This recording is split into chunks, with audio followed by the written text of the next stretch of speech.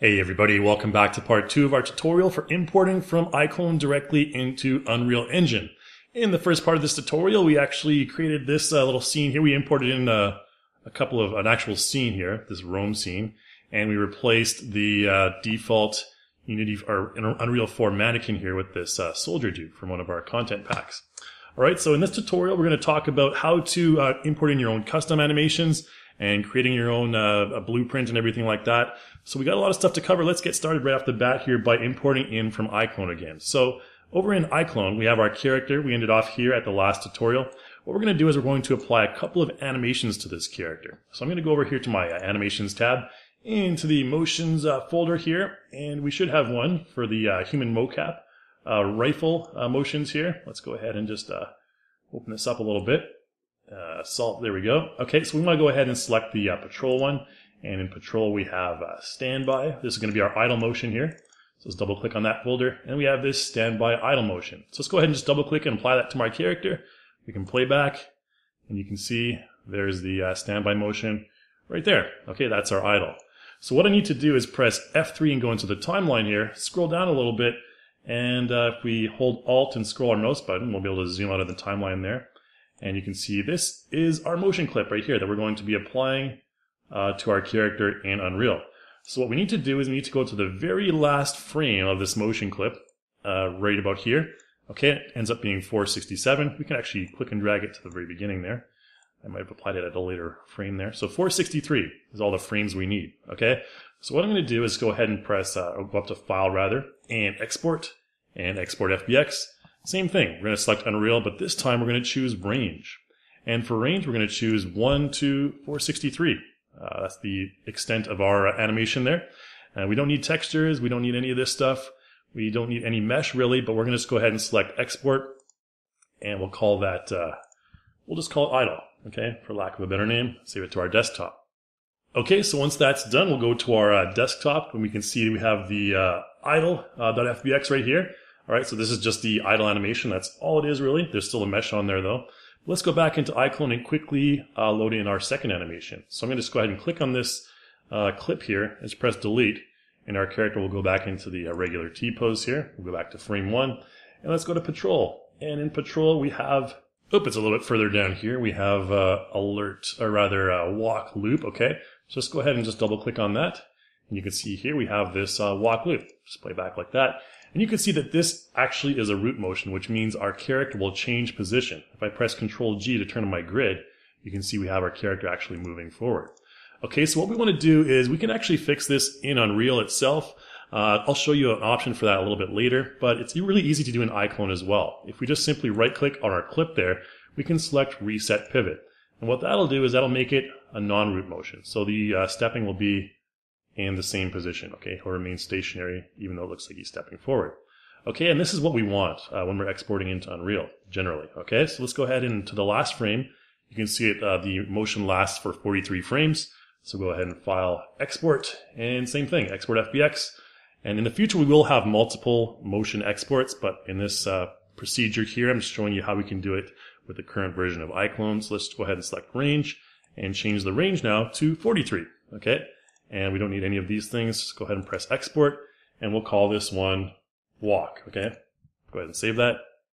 All right. And boom, we're all done in iClone. So we can go ahead and close down iClone. We don't need it any longer. Let's go ahead and press no there. So now we have our idle, we have our walk, and we have our soldier. Now what I'm going to do is I'm actually going to rename this to soldier 2 just to avoid confusion because what's going to happen is we're going to import it as its own skeleton. Okay. We're going to use the iClone skeleton. So that's the first item of business here. Let's go back into Unreal here and let's create a folder. Uh, let's create another uh, folder under soldier maybe, or just under content, I guess. Uh, create a new folder here. Let's call it uh, soldier, oops, soldier 2. Okay. Uh, just to avoid confusion, we'll go into that folder and we can right click and import. And let's select our desktop here. There we go. Okay. And soldier 2. Now we're pretty much going to use all the same options as our first soldier. However, for this one, we're going to select our own uh, skeleton. So we're not going to select UE4 mannequin skeleton. We're going to use this blank. And We're going to have these two selected, skeletal mesh and import mesh. Okay, and go ahead and select update skeletal reference and go ahead and select import. Okay, so once that's imported in, let's just go ahead and double click on the soldier skeletal mesh.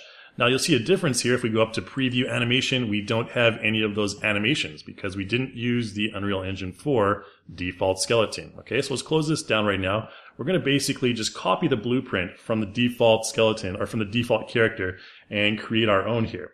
And before we do that, let's import in our animations. So let's create another folder, yet another folder in content, and let's call this one animations. Okay, just to kind of keep things at the top level here. So go to animations and I'm going to right click and import in and let's select our walk and our idle. Control select both of those and select open.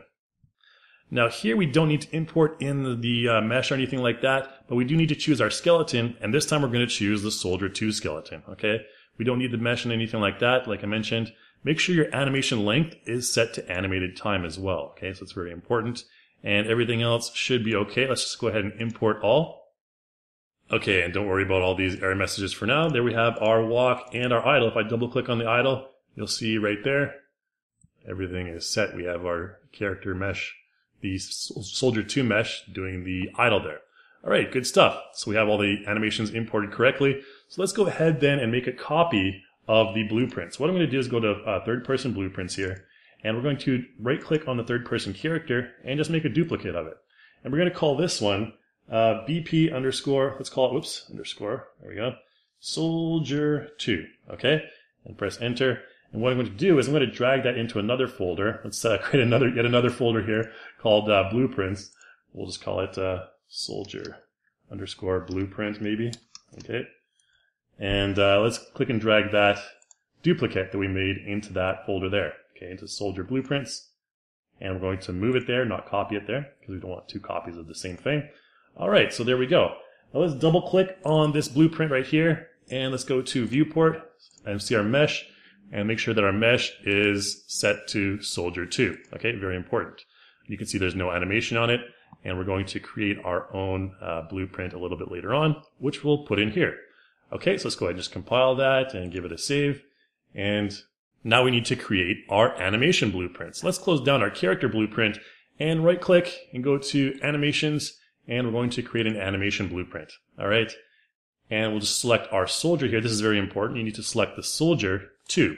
This is the character or the mesh rather, or the skeleton that we're creating this animation blueprint for. So let's press OK. And let's call this ABP underscore soldier two. Okay. Just to keep uh, the naming conventions correct. And let's double click and go into that. Okay, and you can see with this, we have the final animation pose. This is the animation that's going to be, you know, piped out. And we have the two animations here that we imported for our Soldier 2 skeleton. So we have the idle right here. If we double click on that, we can see right there. And let's go back and just close that down. We can actually click and drag it into our animation graph here. And if we pipe that into our final animation pose, what's going to happen is we go ahead and compile it, you can see in the top uh, left there, our preview, our character is going to be doing the idle. All right, pretty cool stuff. It's really easy, but of course that's really too simple because we need to create a state machine here that uh, creates the transition between idle and walk when we use our you know forward or uh, WASD hotkeys or whatever, or control keys, I guess. Okay, so let's go ahead and just delete that uh, play idle right now. And you can do the same thing with the walk. We'll just skip that for now. What I want to do is right click and we're going to create a state machine. So let's enter and type in state machine here and add new state machine. So let's type the state machine into the final animation pose and we to uh, name the state machine whatever we want. Let's call it, uh, I don't know, idle underscore walk, okay, because that's the only two states in this state machine here. And we'll double click and go into the state machine. And in the state machine, what we need to do is just click and drag in our idle animation, just like this, and we'll press enter to call it idle and we'll enter in the walk one as well. Okay. So we just have two states in our state machine. Basically the most simple, uh, the simplest state machine you can possibly have. So what I want to do is pipe in entry into the idle. Okay. Make sure it's highlighted in white like that. Okay. And then what we want to do is also create a transition from idle to walk. Okay. So let's click and drag from idle to walk. Okay. And it'll come up with this little doodad here. Uh, what we need to do here is we need to create a variable. So let's go over here and press the plus key under variables and we'll call this new variable uh, can under or can walk, okay? Just like that. Okay, so now we have a can walk uh, boolean variable, okay? So what I'm going to do is we can just double click this right here, and we need to bring our can walk variable right here. So we need to get can walk and click and drag it to pipe it into the can enter transition. So basically if can walk is, is true or active, then our character will enter the transition from idle into the walk state. I think that's a good way to explain it. And we can just go ahead and compile and uh, save that. And let's go back to the idle to walk level right here. So now we have the idle to walk. You can see right there, if we have a certain state, then it goes from idle to walk. But we need to actually have a, a state that goes re- returns from walk to idle if the if the uh, finger is released from the button. So let's click and drag from walk to idle there as well. And uh, whoops, click and drag like this. There we go. Us on the white there. And double click in here. And we need the same thing. So can walk, we're going to click and drag that in and get can walk. But here we need to add in a not boolean because if the uh, button is not pressed, so we'll just uh, type in uh, not and select not boolean right here, then it's going to return from the walk to the idle state. Okay, so let's go ahead and compile and save that. And pretty simple stuff. See, let's go back to this level right here. So if the button is pressed, then it'll go from idle to walk and vice versa. And that's pretty much it for our, uh, our state machine. Everything's all set for the state machine, so we can just go ahead and close this down for now. Alright, so at this point we're completely done with our animation blueprint, so we need to go ahead and modify, integrate that into our character blueprint. So I'm going to double click on the character blueprint here, make sure we have our mesh selected over here, and go to our viewport, and you can see our soldier character. We have the skeletal mesh selected as soldier, like uh, and at, at the end of the previous tutorial there. So now we're going to change it to soldier 2, okay? And we're going to change our anim class from none to the animation blueprint that we created. So animation blueprint uh, ABP soldier. And then you can see our soldier gets into his idle position. And this is basically all we want to do at this point. So we can go ahead and compile that and save that. And then we need to go into the event graph because we need to create an event tick that allows us to get the values, the move forward and move right values, to determine when our character will go from the idle pose into the uh, kind of gun pointed forward pose and walking. Okay, so what I'm going to do first is right click and enter an event tick, okay, and press enter to add that in. And we need to also get those two values. So get input axis move right and left. So I'm going to right click and say uh, get uh, move forward. Oops. Get uh, move forward. Oh, let's just type in uh, move forward actually. Move forward. Okay, and we need to access values move forward right here. So get move forward and right click and move right. Okay, and just uh, click on that for move right. And we need to go ahead and create a branch for our event tick because we need to have uh, kind of two conditions. So I'm going to click and drag from our event tick and just create a branch. Branch, flow control. All right, there we go. And then our conditions will go in the bottom there. Okay, so we need to have a couple of values here. A couple of float values for our get move forward and get move right. So I'm going to go ahead and click and drag from the uh, get move forward and just type in exclamation mark, uh, exclamation mark, not equal. Okay, so we need to get a float value, not equal right there. And let's go ahead and move that a little bit forward. We can actually just copy and paste that. So control C and control V to copy and paste that and paste it over here. And then we're going to pipe in the return value for the move right into that as well. And those two need to connect into an OR boolean. Okay, so let's go ahead and click in from there and just type in OR. All right, so OR boolean right there and click the move right into that as well. And then we're going to just basically pump that into the condition uh, uh, section there of the uh, branch. So let's go ahead and connect that to. And from this point on, we also need to get our animation instance. let's go ahead and right click and type in anim instance. Okay, so get animation instance for the mesh right here, for our skeletal mesh. And don't worry about that mesh section over there. So we need to go ahead and push, push this there as well. And then we need to cast those values to our animation blueprint. So let's go ahead and right click. We can click and drag from our return value here.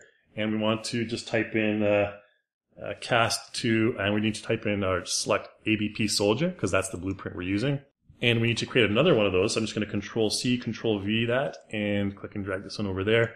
And the return value can go from this to the other object as well. And the top one, we're going to be setting that one to the can walk value of true. Okay, so I'm going to click from this branch and true is going to go over there and false is going to go over here. And then we need to basically go from as ABP soldier and we're going to choose uh, can walk. Okay, so we need to set can walk. And this one's going to be true. Okay, uh, because the true goes up to here. And this one, we're going to do the same thing. So we can actually just click in or Control C, Control V that again, and uh, move this one down here. And this is going to be the false one. So we're going to select can or deselect can walk, and then just move this over here to our target. We can also connect these two uh, white ones up here, and we should be good to go. So apologies if I went through that a little bit fast, but we have other tutorials. There's more detailed Unreal tutorials on that. I can link those in the description as well. But for now, we're just going to go with this. Go ahead and compile it. Hopefully everything's okay. Awesome. And then we'll go ahead and save that and close down our character blueprint. At this point, you can delete the character mesh if you still have it on the screen, which I've already done. Just make sure your uh, player control uh, component here is uh, on top of uh, something that has collision, so it, when it drops down, it'll kind of land on it. And then what I want to do is go up to settings and go to project settings here. And we need to go into maps and modes. And for our default pawn class, we're going to change that from third person character to our BP soldier character. All right, good to go. So that's pretty much all we need to do. Go ahead and close that down and we can give it a play. And here's our character. All right, so if we click in it, we can see our character in his idle that we imported in from iClone there. We can walk forward and here we have, you can see the kind of walk forward like this. All right. So we just imported in those two actions, like I mentioned, pretty much the, the most simple state machine you can possibly have here uh, with this, these two animations kind of blended together. But that's how easy it is to import directly from iClone uh, your character and animations and your entire scene into Unreal and get it in your scene like this. I can press F11 to give us a full screen view right here on our character. All right, so that's really about all there is to it, guys. Uh, thanks so much for watching. Hopefully you learned a lot in this tutorial. And we'll have other tutorials on uh, importing iClone assets into Unreal in the future. But for now, that's about it. So uh, hopefully you learned a lot, and I hope to see you in the next video.